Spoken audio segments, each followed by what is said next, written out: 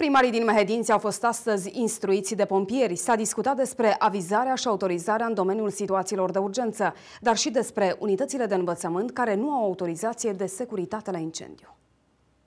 Inspectoratul pentru situații de urgență a organizat astăzi o ședință cu scopul instruirii primarilor cu privire la incendiile ce pot avea loc în unitățile de învățământ din localitățile pe care le păstoresc. La orice apel care ar veni pentru casă, doar pentru ăsta n-aș fi avut cine să vine.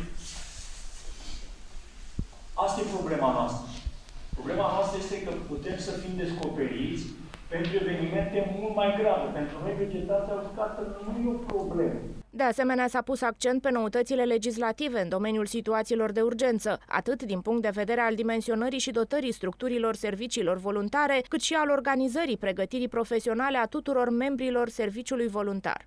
Am desfășurat uh, astăzi întâlnirea anuală cu primarii, la care au participat uh, aproape toți primarii din județul Mehedinți, la care au fost dezbătute mai multe teme, cum ar fi arderile de vegetație uscată, care au un impact foarte mare și consumă foarte multe resurse din partea Isumei Hedinți, partea de servicii voluntare, întrucât aportorul ministrului 75 și cu 28 decembrie trebuie să înființeze aceste servicii voluntare și partea de avizare a școlilor din, uh, din cadrul județului. Totodată a fost subliniată importanța informării preventive a populației și aportul pe care serviciile voluntare pentru situații de urgență îl au în această direcție.